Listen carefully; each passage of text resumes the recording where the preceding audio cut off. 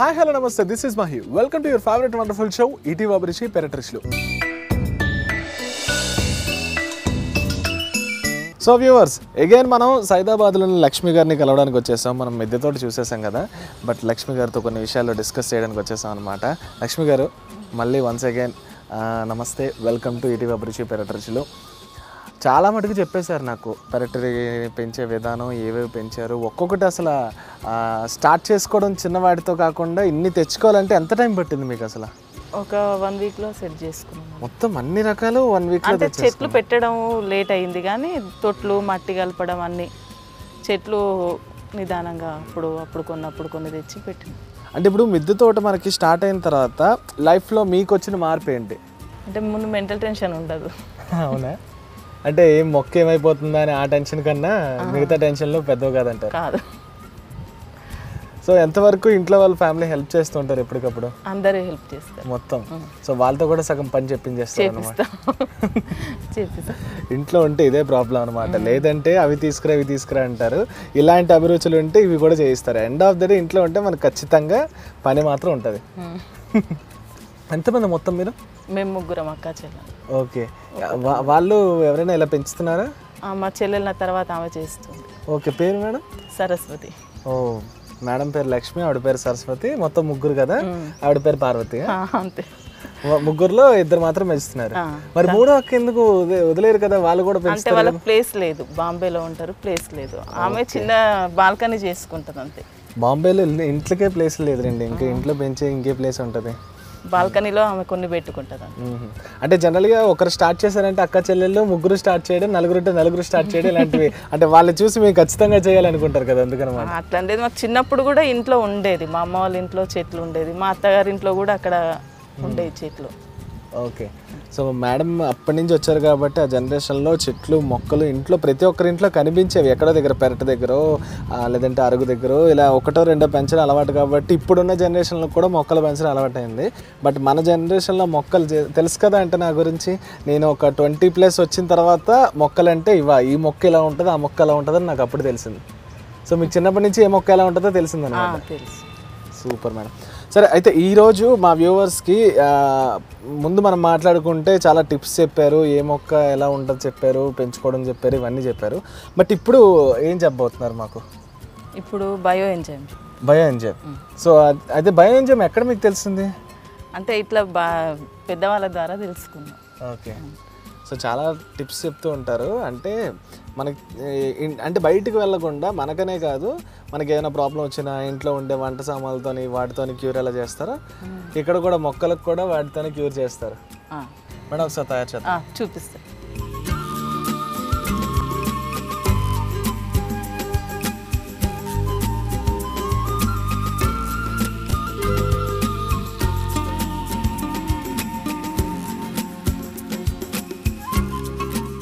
So viewers మనకి తెలుసు అంటే మిద్దె తోట పెంచే వాళ్ళకి చాలామందికి మ్యాజిక్ ఫార్ములా అని లేదంటే కిచెన్ వేస్ట్తోని వేయడం కానీ పెస్ట్లు రాకుండా పెస్ట్ కంట్రోల్ చేసుకునే విధానం గురించి చాలా మటుకు మనం ఎపిసోడ్స్లో చూసుకుంటే రకరకాలుగా వాళ్ళు ప్రికాషన్స్ తీసుకుంటున్నారు మొక్కలకి బికాజ్ ఎందుకంటే న్యూట్రిషన్స్ అందించడం కానివ్వండి అండ్ మొక్కకి ప్రాబ్లం రాకుండా. బట్ ఇక్కడ లక్ష్మి గారు అయితే లక్ష్మి గారు యూస్ చేసే ఫార్ములా ఏంటంటే బయో ఎంజైమ్ అనమాట అంటే మనకి ఏం చెప్పారంటే దీని ద్వారా తయారు చేయొచ్చు అన్నారు. బట్ నాకు బ్రీఫ్గా తెలుసుకోవాలని ఉంది. అందుకే ఈసారి మళ్ళీ లక్ష్మి గారి దగ్గరకు వచ్చి అసలు ఈ బయో ఎంజిఎం ఎలా క్రియేట్ చేస్తారు ఏమేమి ఉంటాయి వీటన్నిటి గురించి డీటెయిల్గా ఎక్స్ప్లెనేషన్ తీసుకుందాం. మేడం అసలు ఏంటి? ఇప్పుడైతే నా దగ్గర ఆరెంజెస్ అయితే ఉన్నాయి. వీటిని ఒక వన్ మంత్ వరకు నీళ్ళల్లో నాన నానబెట్టాలి. బెల్లము వాటరు ఈ తొక్కలు. ఓకే తొక్కలు. తొక్కలు. నేను ఇంకా నారింజలు అనుకున్నాను తొక్కలు. ఓకే అయితే ఇప్పుడు మొత్తం మీ మీ గార్డెన్ కానీ తీసుకోండి. ఎన్ని ఎన్ని- తీసుకుంటారు జనరల్గా? ఇప్పుడు ఈ ఒక లీటరు ఒక ఈ మూత ఒక లీటర్కి పోయ పోయొచ్చు. Bio enzyme liquid. Okay okay. ఒక ఒక లీటర్ ఇప్పుడు తీసుకుంటే దీనిలో ఫైవ్ ఎంఎల్. ఇప్పుడు టూ లీటర్స్ బాటిల్. ఇది టూ క్యాప్స్ పోస్తే సరిపోద్ది. అంటే ఇప్పుడు మనం తయారు చేసేది టూ గ్యాప్స్ ఇందులో పోస్తే సరిపోద్ది. సో దీని తర్వాత నాకు ఏమర్థమైంది అంటే ఇది ఒక ఆప్షన్ ఉంది. మేడం చూడండి ఎలా చేస్తున్నారు సో స్మార్ట్ వర్క్ ఈజ్ చాలా చాలా ఇంపార్టెంట్ అనమాట ఇట్లా తీసే?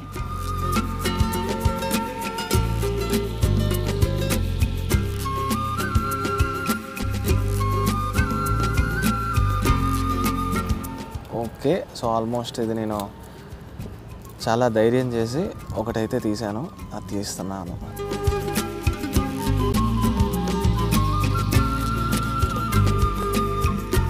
సో మేడం ఇది కూడా కావాలా? అది అవసరం లేదు. అవసరం లేదు. ఓన్లీ పైన తొక్క మాత్రం మొత్తానికి నేనైతే ఒకటి తీసాను అబ్బా మేడం ఈలోపు మూడు నాలుగు వచ్చేసారు అది అంటే డైలీ ప్రాక్టీస్ చేసే విధానానికి ఎప్పుడో వచ్చి ఇలాగ మమ అని చేసే విధానానికి చాలా తేడా ఉంటుందని మీకు అర్థమై ఉంటుందన్నమాట.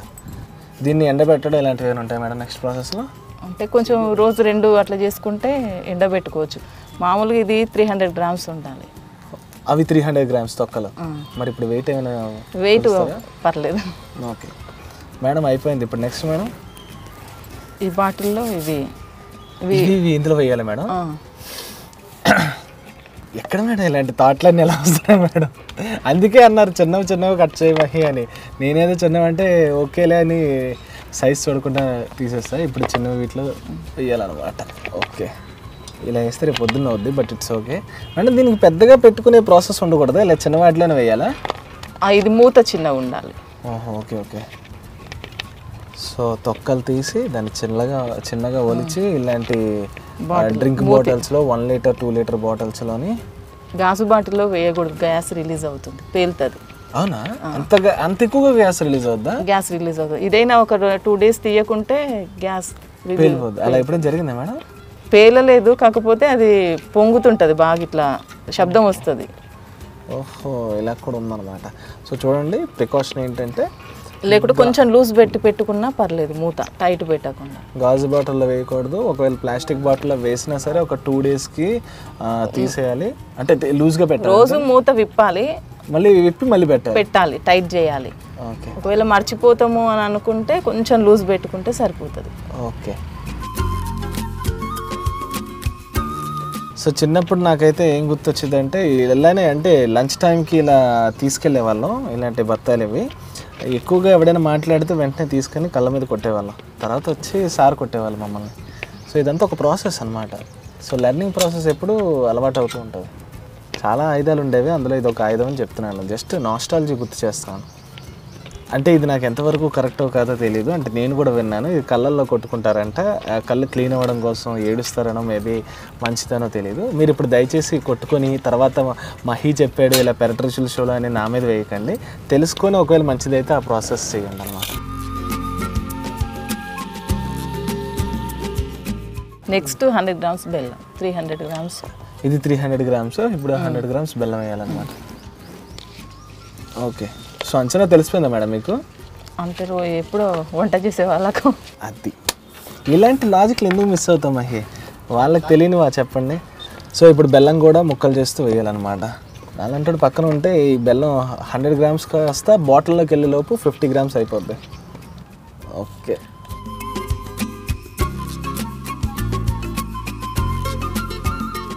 సో ఇలా చిన్న చిన్న ముక్కలు కట్ చేసుకొని మొత్తం త్రీ హండ్రెడ్ గ్రామ్స్ తొక్కల్లోని ఈ హండ్రెడ్. గ్రామ్స్ బెల్లం వేసుకోవాలన్నమాట.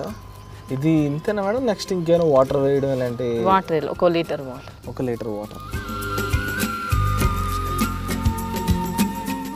ఒక లీటర్ వాటర్.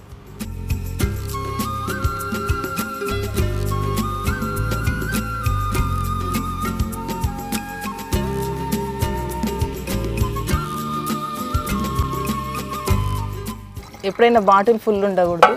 ఇంత గ్యాప్ ఉండాలి. కాకపోతే ఇప్పుడు మనం చేసిన తయారు చేసుకున్న ఒక సెవెంటీ ఫైవ్ పర్సెంట్ మాత్రం ఉండాలి. గ్యాప్ ఉండాలి. ఓకే. సో ఇప్పుడు ఏంటి మేడం నెక్స్ట్ వాటర్ వేసేస్తాం దీనిలోని? దానికి మూత పెట్టేయడం రోజు ఒకసారి ఇట్లా అనడం మూత ఇప్పేయడం దీన్ని ఏం షేక్ చేయకూడదా. ఓకే అలా ఉంచేయడం అంతే. అదే గ్యాస్ రిలీజ్ అవుతూ ఉంటుంది. ఓహో, ఓకే ఓకే ఓకే. సో ఇది ప్రాసెస్ అన్నమాట. మనం ఇప్పుడు ఫస్ట్ నేను మళ్ళీ ఒకసారి చెప్తున్నాను. చిన్న చిన్న ముక్కలుగా కట్ చేసుకొని వేసేసుకోవాలి బాటిల్లో అండ్ అలానే హండ్రెడ్ గ్రామ్స్ ఆఫ్ బెల్లం కూడా చిన్న ముక్కలు కట్ చేసుకొని వన్ లీటర్ వాటర్ వేసుకోవాలి. బట్ బాటిల్ని ఫుల్గా చేయకూడదు అనమాట సెవెంటీ ఫైవ్ పర్సెంట్ మాత్రమే ఉండాలి. ఎందుకంటే గ్యాస్ రిలీజ్ అవుతుంది కాబట్టి. మేడం ఇప్పుడు ఇది ప్రాసెస్ అవ్వడానికి ఎన్ని డేస్ పడుతుంది? One month. వన్ మంత్ పడుతుంది. వన్ మంత్ తర్వాత దీన్ని వడగట్టుకొని వాటర్ మాత్రమే చేసుకోవాలి. యూజ్ చేసుకోవచ్చు. అది కంపోస్ట్లో వేసుకోవచ్చు. ఇది బండలకు బట్టలకు కూడా యూజ్ చేస్తారంట కానీ నేనైతే చేయలేదు బండలకి బట్టలుగా? బండలు కూడా తుడుచుకుంటారంట దీంతో. బట్టలు కూడా ఉతుక్కుంటారంట. చూడండి అక్కడ ఎలా వస్తుందో బయటికి. మీరు అన్నట్టు అక్కడ గ్యాస్ ఫామ్ అవుతుంది ఆల్రెడీ. ఓకే సో ఇప్పుడు ఇలా పెట్టేయాలన్నమాట. సో టూ డేస్కి ఒకసారి వచ్చి చెక్ టూ చేసుకొని డేస్ అంటే డైలీ ఒకసారి చెక్ చేసుకోవాలి. కాకపోతే ఒకవేళ మనం వీలు కాదు అనుకుంటే కొంచెం ఇట్లా లూజ్ పెట్టుకుంటే సరిపోతుంది మూత. ఓకే. సో ఏది వేస్ట్ అవ్వదు రీసైక్లింగ్ అలాగే. ఆ వాటర్ మనకి మొక్కలకి యూజ్ అవుతుంది అండ్ ఉండేది మళ్ళీ కంపోస్ట్ కింద మేడం యూజ్ చేస్తున్నారు అనమాట అండ్ ఫైనల్గా మొక్కల నుంచి తీసింది మళ్ళీ మొక్కలకే హెల్తీనెస్ కోసం ఇస్తున్నాం. టోటల్ రీసైక్లింగ్ ఎకో సిస్టమ్ పాడవకుండా ఆర్గానిక్గా చేస్తున్నాం అనమాట సూపర్ మేడం. సో ఫైనల్గా ఈరోజు నేను ఒక బయో ఎంజిఎం క్రియేట్ చేశాను అనమాట మనకి వాటర్ వన్ లీటర్ వాటర్లోని త్రీ హండ్రెడ్ గ్రామ్స్ తొక్కలు ఉండాలన్నమాట. ఈ బత్తాయిది తొక్కలు తీసుకొని చిన్న చిన్న ముక్కలు చేసుకోవాలి. సో ఫస్ట్ మనం ఆ ముక్కలు చేసుకున్న బత్తాయిల్ని ఈ బాటిల్లో వేసుకోవాలి. తర్వాత హండ్రెడ్ గ్రామ్స్ బెల్లాన్ని చిన్న చిన్నగా చింపుకొని ఇందులో వేసుకోవాలి. వేసుకున్న తర్వాత వన్ లీటర్ వాటర్ వేసుకోవాలి. సో ఫైనల్గా ఇదంతా వేసుకున్న తర్వాత ఒక వన్ మంత్ పడుతుంది ఇదంతా ఫెర్టిలైజేషన్గా క్రియేట్ అవ్వడానికి. ఇదంతా కిందకు వస్తుందంట. అయితే టూ డేస్కి వన్ డేస్కి ఒక ఒకసారి చెక్ చేసుకోవాలి. ఇప్పుడే చూసారా? ఆల్మోస్ట్ ఇక్కడ గ్యాస్ ఎలా ఫామ్ అవుతుందో. సో ఇది ఇంకా పులిసిపోయిన తర్వాత ఇంకా గ్యాస్ వచ్చేస్తే బాటిల్ పేలే అవకాశాలు కూడా ఉన్నాయి కాబట్టి వన్ ఆర్ డేస్కి టూ డేస్కి ఒకసారి చెక్ చేసుకోవడం లేదంటే బాటిల్ కొంచెం ఫ్రీగా ఉంచుకుంటే మనకు కావాల్సింది ఏదైతే ఉందో మొక్కలకి ఇవ్వాల్సింది వచ్చేస్తుంది అనమాట సో అయితే చాలామందికి అనుకుంటూ ఉంటారు చూసినప్పుడు ఇది నారింజ కదా బత్త ఎందుకు అంటున్నాడని. అయితే నారింజ మాత్రమే కాదు బత్తా యూస్ చేయొచ్చు నిమ్మ కూడా యూస్ చేయొచ్చు. ఎందుకంటే ఈ క్వాలిటీస్ వాటికి కూడా ఉంటాయి కాబట్టి ఫ్యామిలీకి అంటే సిట్రిస్ ఫ్యామిలీస్కి ఉంటాయి కాబట్టి సిట్రిక్ యాసిడ్ ఫ్యామిలీకి.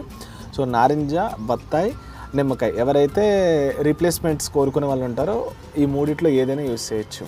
Super madam. మేడం ఇప్పుడు అది చెప్పారు ఇప్పుడు నెక్స్ట్ ఏంటి నెక్స్ట్ ఏం చూపిస్తున్నారు? కానుగు పూత. కానుగు పూత.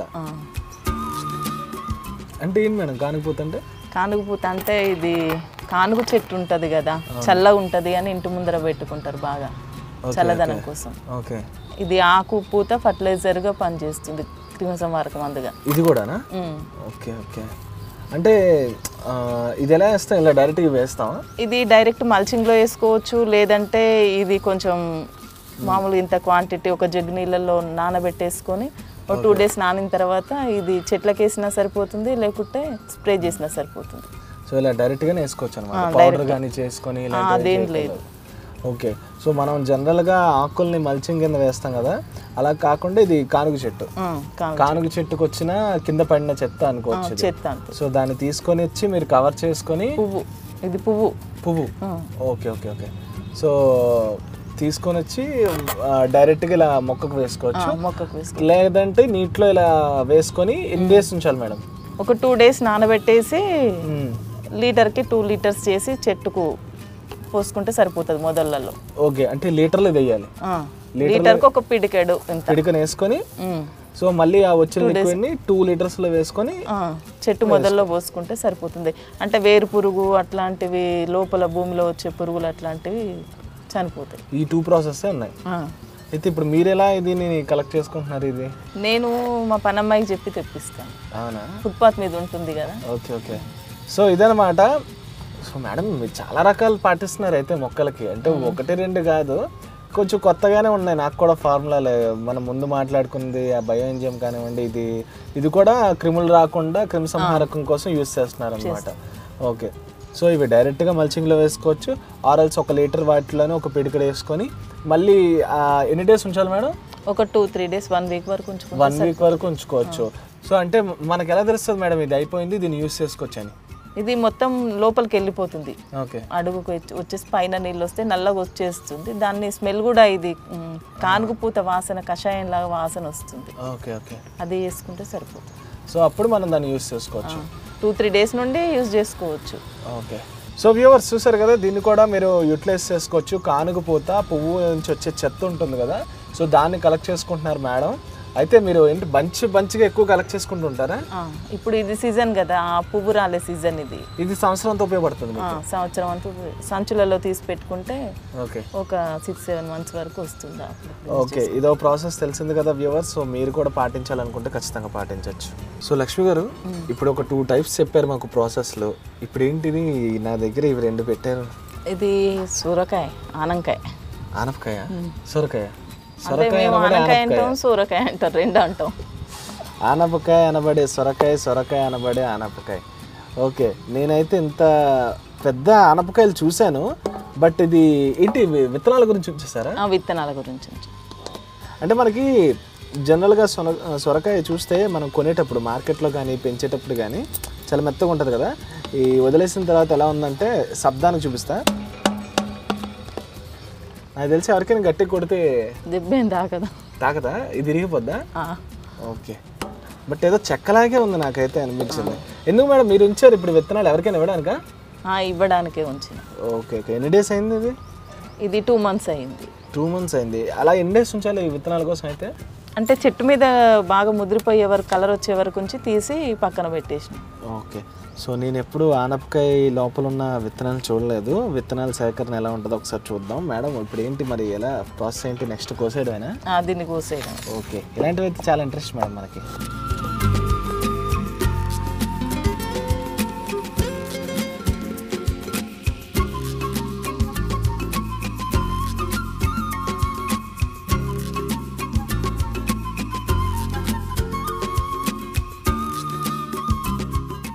సో అయితే నాకు ఒకటి అర్థమైంది మేడం దీని తర్వాత. ఏదైనా మొదలకు ముందే కట్ చేయాలి. అది. పెద్దలు అందుకే అంటారు ఏదైనా మొదలకు ముందే అన్నీ చేయాలని. ఓకే. సో ఇది విత్తనాలు అనమాట బాగా తెలిసిపోయింది నాకు వచ్చిన తర్వాత ఇది ఒక్కొక్కటి విత్తనం. అంటే ఇవే కదా విత్తనాలు? అవే విత్తనాలు. విత్తనాలు ఏమంటారు ఏంటి కొంతమంది?